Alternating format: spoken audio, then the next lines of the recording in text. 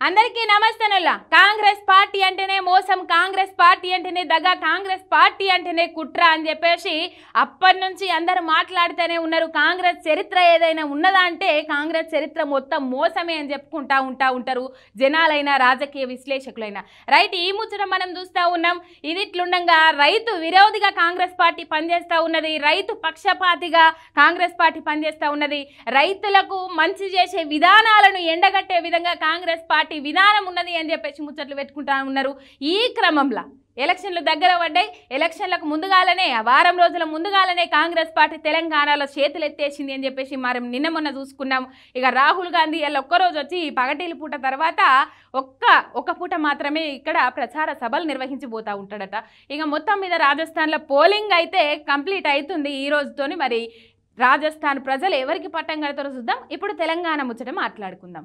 Right Rythu Bandhu Telangana సర్కార్ అంటే అధికార బీఆర్ఎస్ పార్టీ రైతు బంధు రైతు సంక్షేమమే ధ్యేయంగా రైతు అభివృద్ధి ముఖ్య లక్ష్యంగా ముంగటి పోకుండా రైతు బీమా రైతు బంధు ఇక ఇట్లాంటి పథకాలు రైతు రుణమాఫీలు ఇట్లాంటివన్నీ పెట్టి రైతులకు మంచి చేసే విధంగా ముందడుగు పోతూ ఉన్నది. ఇక కాంగ్రెస్ పార్టీ వాళ్ళ మేనిఫెస్టోలో ప్రకటించింది ఏంటంటే రైతు భరోసా పేరు కింద పదిహేను వేల రూపాయలు. సంవత్సరానికి పదిహేను వేల రూపాయలను రైతులకు అందిస్తామని చెప్పిండ్రు మంచి గినాలే. సంవత్సరానికి పదిహేను వేల రూపాయలను అందిస్తామని చెప్పేసి వాళ్ళ మేనిఫెస్టోలో ప్రకటించడం జరిగింది. కౌలుదారులకు కూడా ఇస్తాము పదిహేను వేల రూపాయలు అని చెప్పిండ్రు కదా. ఇక నిన్న ప్రముఖ ఛానల్లా ఒక వ్యక్తి ఒక కాంగ్రెస్ నాయకుడు ఇంటర్వ్యూలో కూర్చుంటే కూర్చున్న తర్వాత ఎన్ఆర్ఐ క్వశ్చన్ అడిగితే ఏం చెప్పిండ్రు అయ్యా అంటే ఎన్ఆర్ఐ క్వశ్చన్ ఏంటంటే ఇప్పుడు కౌలు రైతులకు మీరు రైతు భరోసా కింద పదిహేను వేలు ఇస్తామని అన్నారు కదా దాని మీద ఒక క్లారిటీ ఇవ్వండి మొన్న బట్టి గారిని అడిగితే కూడా బట్టి తప్పించుకున్నారు బట్టి కూడా ఎటువంటి సమాధానం ఇవ్వలేదు మీరైనా ఇవ్వండి అసలు కౌలు రైతులకు ఇస్తారా? అసలైన భూ యజమానులకు ఇస్తారా? ఎవరికి ఇస్తారు? ఇద్దరికి ఇస్తారా? లేకపోతే ఇద్దరిట్లల్లా ఒకరికి ఇచ్చి చేతులు దులుపుకుంటారా అని ఆయన అడిగిన క్వశ్చన్కు ఇక ప్రముఖ కాంగ్రెస్ లీడరు నాయకుడు ఏం మాట్లాడిందంటే కౌలుదారికి ఇస్తే భూ యజమానులకు అసలు భూ యజమానులకు ఇయ్యము ఒక్కరికే ఇచ్చుడు జరుగుతుంది అని చెప్పేసి మాట్లాడు జరిగింది. ఇక దీని మీద అధికార బీఆర్ఎస్ పార్టీ కౌంటర్ అటాక్ చేసింది. మొత్తం మీద ఈ ఎలక్షన్ల నేపథ్యంలో వాళ్ళకి ఇంకో అస్త్రం దొరికినట్లయింది బీఆర్ఎస్ పార్టీ వాళ్ళకు. ఏంటంటే రైతు అంటే రైతు బంధు పేరు మార్చేసి వాళ్ళు రైతు భరోసా అని పెట్టుకున్నారు మేనిఫెస్టోలా. ఇక ఈ రైతు భరోసా కింద ఎకరానికి పదిహేను వేలు సంవత్సరానికి ఇస్తారా?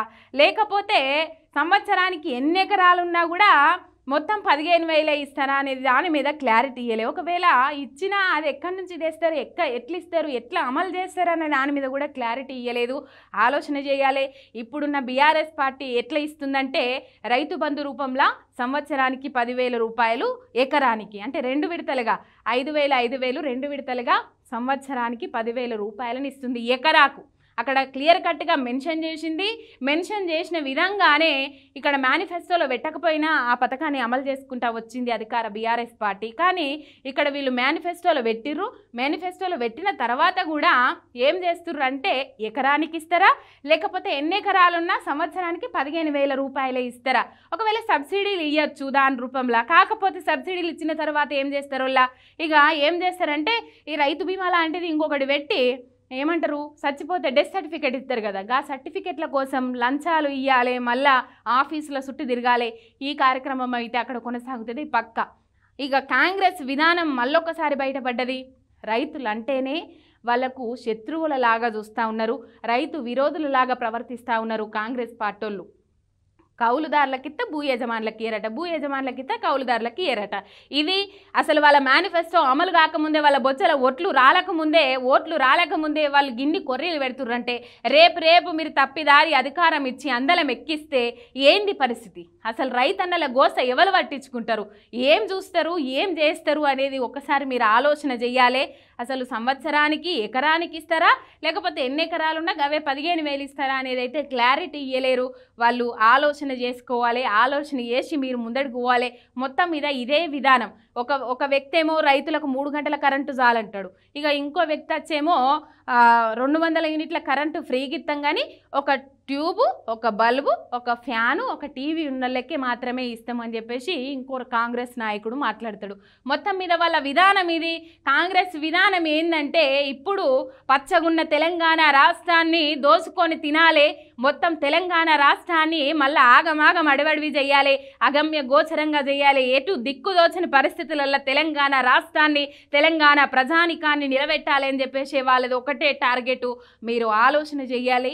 ఆలోచన చేసి ముంగటికోవాలి కంపల్సరీ ఆలోచన చేసే మీ ఓటు హక్కును సద్వినియోగం చేసుకోవాలి. కాంగ్రెస్ విధానం అంటేనే మోసపూరితమైన బుద్ధి కుట్ర రాజకీయాలు అని చెప్పేసి ఒక్కటి అర్థం చేసుకొని మెదలాలి.